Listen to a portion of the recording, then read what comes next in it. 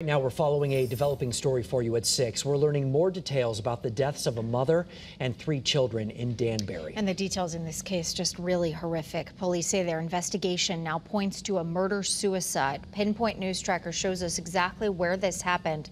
The bodies were found at a house on Wally Street. Channel 3 Waterbury Bureau Chief Dennis Valera spoke with neighbors and investigators. He joins us now live with what he's learning. Dennis.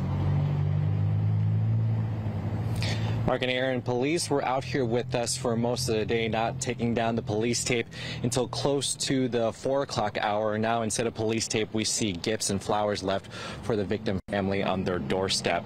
Now, it may be a while before we learn about the exact motive in this case. However, we did talk to an expert who analyzes and studies these kind of horrific crimes.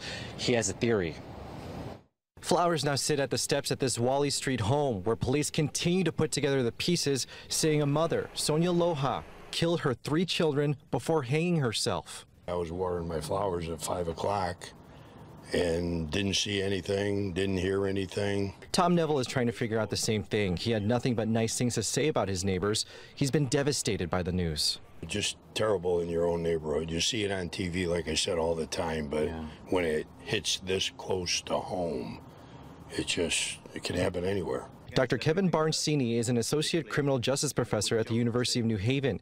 He says the trigger in these incidents usually are life-changing events, like the end of a long-time relationship or losing a job. It could be that they themselves feel that they're letting their children or their family down or letting their loved ones down. And so they feel that, you know, everything's a failure and life has no point that can be a, a, big one. Dr. Barncini says the challenge with trying to prevent these crimes is a lack of red flags. He says the best thing we can do is check in with each other, often. If we could just spend a little bit more time listening to each other, um, learning from each other and learning about each other, then maybe we'll be able to see uh, warning signs Danbury Public School Superintendent Kevin Walston also issued a statement about this.